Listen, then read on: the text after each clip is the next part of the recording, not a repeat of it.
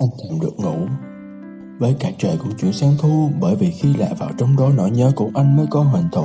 Anh vội vàng bất chấp lần này Bởi đầu trời kia mới có mưa tơi. Cốc độ đắng anh đặt trên bàn chờ đợi em muốn thì mình cứ đôi. Anh biết rộng nửa hận nửa dỗi.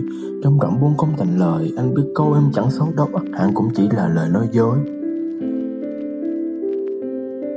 Anh biết cô em chẳng xấu đâu ắt hẳn cũng chỉ là lời nói dối. Buồn thì có sao đâu không biết là được bao lâu anh lạc đường nữa rồi. Em mới biết đâu đây chỉ là khúc dạo đầu, Cánh cửa phòng mỗi khi anh đưa tay mở mà không một chút do dự. Ừ lẽ ra anh nên chuẩn bị kỹ hơn để chấp chuyện chuyện này chứ.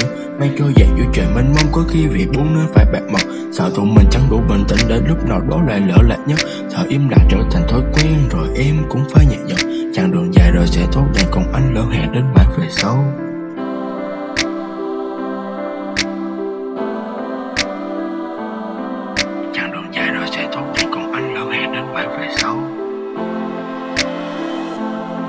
Em là án mây trôi bồng bềnh giữa trời hoàng hôn rồi khuất.